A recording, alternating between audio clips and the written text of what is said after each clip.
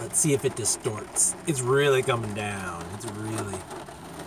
But uh, I guess just the optical illusion. There we go. Look at it. Look at those trees. That's very psychedelic. All watery and moving and changing. And look at that shell station. I'm melting. Oh.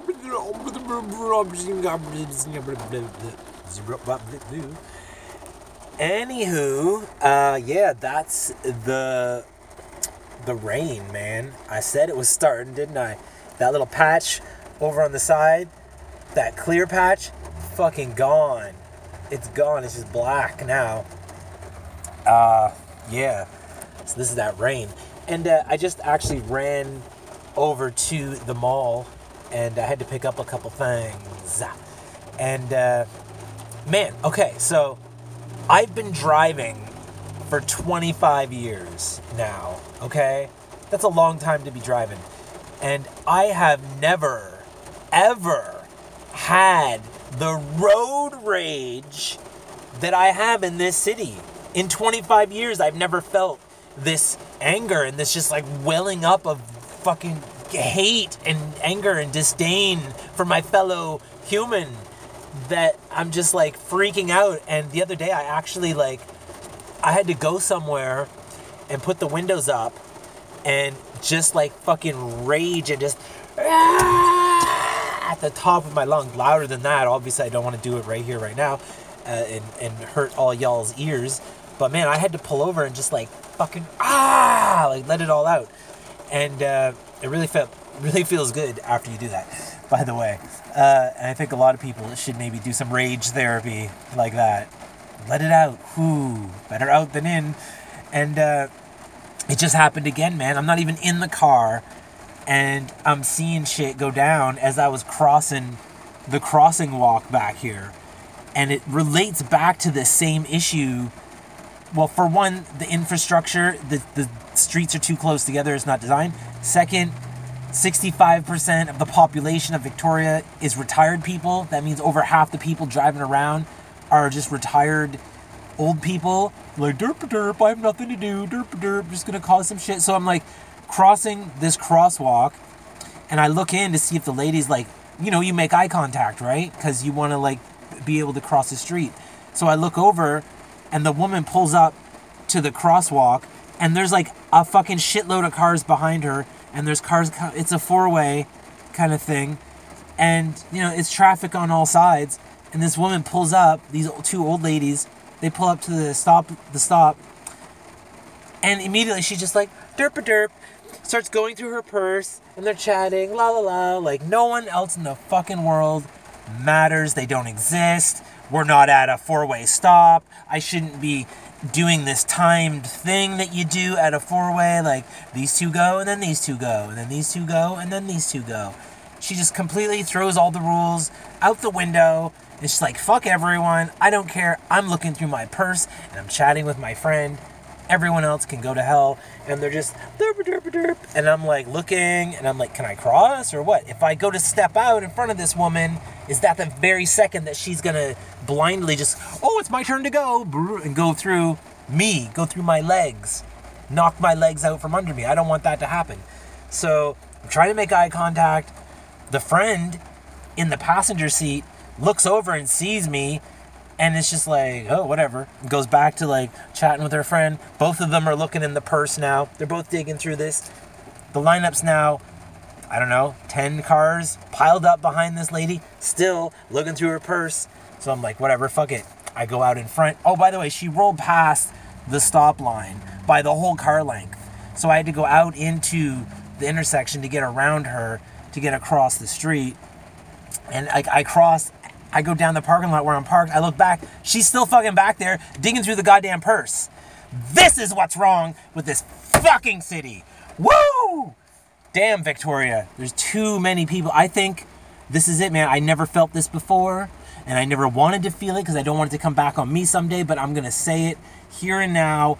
Old people, after 60 years old, you should have to take a driving test again. You should have to take a driving test, have your eyes tested, get your glasses fixed, learn that there's new ways that shit happens. You know, people are driving around now with video cameras in their cars and shit for helping you back up, teach old people how to use that shit, how to look through, how to like not rely on that camera too. I notice a lot of people strictly look at the camera or the video screen on the dash. They strictly look at the, the screen. Mm, they don't ever look around. So, you know, there's all kinds of wacky shit going on, man. And I think, I really think we should all have to get tested again. Drive and test, the written and the driven, both. And have another probation. Get another N on your car. Get another graduated shit happening, you know? So, yeah. I'm trying not to let it get to me. I wasn't even driving this time, I was just crossing the street. And the same bullshit is happening day after day. And um, yeah, I wanted to relay that to y'all that this is some of what you got to go through here in this city, in this town, in the land of the, the retirements. There's this fucking retirement village that we live in, basically, where everyone is just given a vehicle and here, go at it. I know you're old and all fucked up and don't care about life anymore or anyone around you, but here, go have a vehicle and drive around and cause a bunch of shit. You know, go get in the way and uh, these are the people who are doing the dumb shit too, where they like, oh, let's just be nice and let them go through. It's like you're not supposed to stop at this point. There's points where you stop to let people through, and there's points where you don't stop. And it seems in this town, in this city, all that that rule is also thrown out the window. They don't seem to care about that kind of shit. About where it's appropriate to stop and jam on your brakes and have everyone behind you come to a screeching halt. They don't care, man. They just don't care. So what do you do? What do you do to make people care? How are you going to wake everyone up? Be like, oh, I didn't realize I'm an idiot driver. I didn't realize it. Oh, I will change my ways from now on. You know, how do you make that happen? I don't know if it's even possible. Man, I'm telling you, the driving, I love driving. I was a born driver. I've been, I started driving when I was 16. I love it. Uh, I love every minute of it. Some people like uh, go for a walk. Some people go to a movie. Some people uh, read. Some people go running. I go for drives. There's, I spend my money going for drives. I know a lot of people, gas is expensive. Yeah, I know. But I just like to go for a drive. This is what I'm paying for. I'm paying to just decompress. Oh, it's such a beautiful meditation to just drive and cruise around. And then, man, they're like ruining it, man. They're ruining it. I love driving. But ever since I've moved to this city, I've never felt this road rage before. Never in my life. Whoo! And it makes me want to move.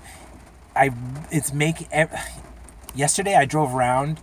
I had to go to the next town over, which is actually even worse than here, just because of the layout and the way every little thing is designed. Like you miss your turn because I was relying on a GPS and I had the sound turned off, so she wasn't telling me where to turn left or right, and so I kind of missed. I misjudged where the blue line was telling me to turn to the left, and so I turned into a parking lot instead of a street because over in Langford, the parking lots look like streets. And then you get into this parking lot, and there's no easy, like, oh, I'll just whoop and turn around. No, you get into a Langford parking lot, and it's like, ee, uh, oh, oh, oh, back up, turn around, go around another little loop.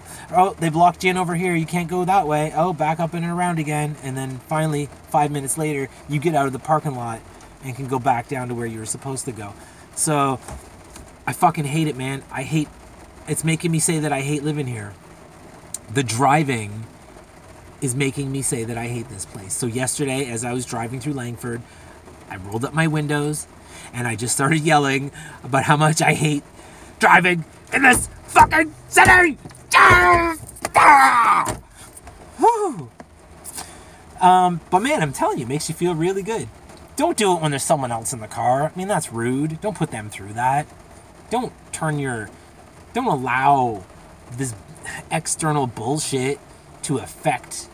I mean, if it's affecting you, that's your prerogative. Don't let it leak through you and affect your passengers and the people. Maybe you got kids or something in the backseat. They don't need to see that shit.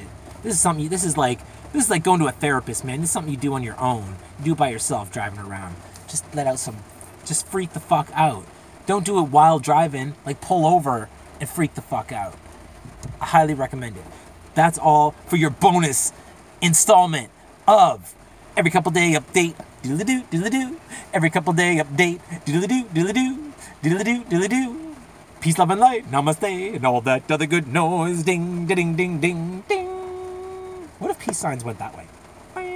Or is it that way? Eh, eh, who cares? Bye.